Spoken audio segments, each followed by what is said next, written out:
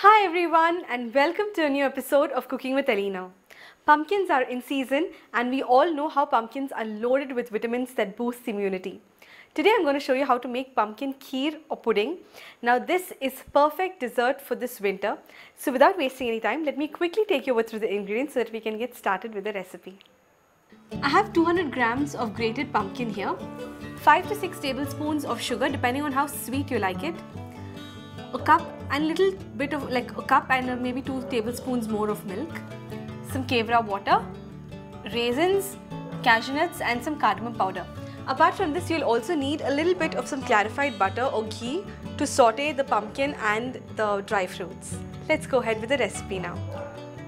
So into a pan, I added around 2 teaspoons of some ghee or desi clarified butter. To this, I'm going to add in a few cashew nuts and saute them till they get nice and roasted with a golden color.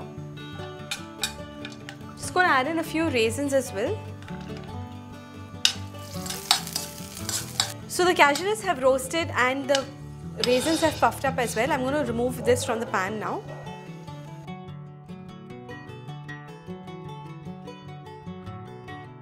Now to the same pan which has the ghee, I'm going to add in the grated pumpkin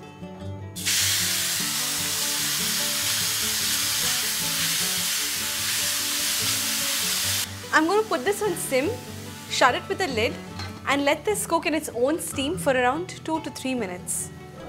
So the pumpkin has been cooking its own steam for the past 2 minutes and if you noticed it changed slight color. Now to this I'm going to add in some sugar. Now this again depends on how sweet your pumpkin is. If your pumpkin is sweet you don't have to add a lot but otherwise 5 to 6 tablespoons is what we're looking at.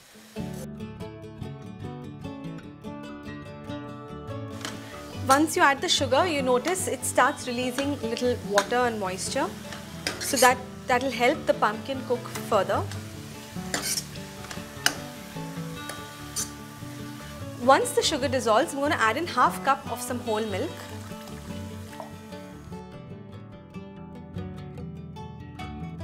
So I'm going to let this cook for around 5 minutes till this gets a little thick in consistency. Meanwhile, that, while that's cooking, I'm going to add in a little bit of some green cardamom powder and a few drops of some kevra water. You can add rose water as well. So while the pumpkin kheer is coming together and it's getting a little thick in consistency, I'm going to add in the roasted dry fruits that what we've roasted earlier. So the pumpkin has absorbed all the milk and it, it's become nice and thick. So at this stage, I'm going to turn off the flame and transfer this into a serving bowl.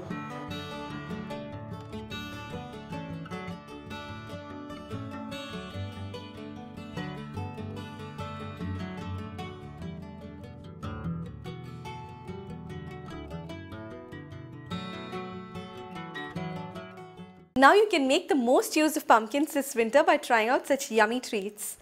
You can serve this warm on a chilly winter night and enjoy it. If you liked the video, then please do give it a thumbs up and also do share the recipe with your friends and family. Don't forget to subscribe to my channel if you haven't. I'll see you guys next week with another new recipe. Until then, bye.